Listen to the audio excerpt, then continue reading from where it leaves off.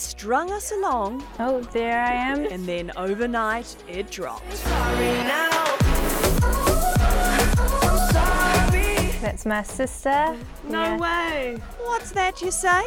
Kirsten's booty. Yes, every dancer you see in this clip, all Kiwi. And all learned their moves right here in this South Auckland studio. I told you, sure.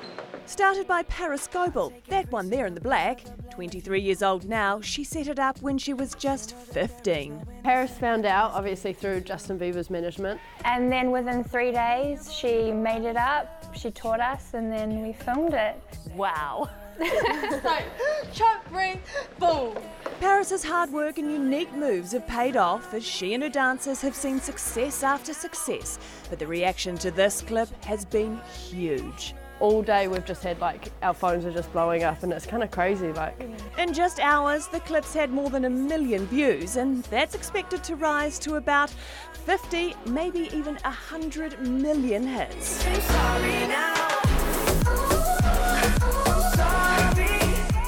Probably will get a chance to meet him now, having done this. How are you feeling about that?